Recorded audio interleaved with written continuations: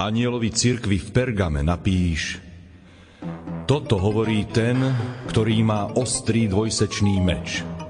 Viem, kde bývaš. Tam, kde je trón satanov. Ale pridržaš sa môjho mena a nezaprel si vieru vo mňa ani v dňoch Antipasa, ktorý je môj verný svedok a ktorého zabili u vás, kde býva Satan.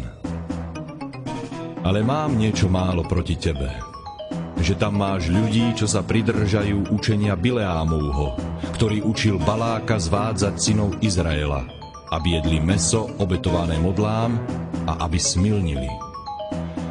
A aj ty máš takých, čo sa pridržajú učenia Mikulášencov. Kajaj sa teda. Ináč čo skoro prídem za tebou a budem bojovať proti ním mečom svojich úst. Kto má uši, nech počuje, čo duch hovorí cirkvám.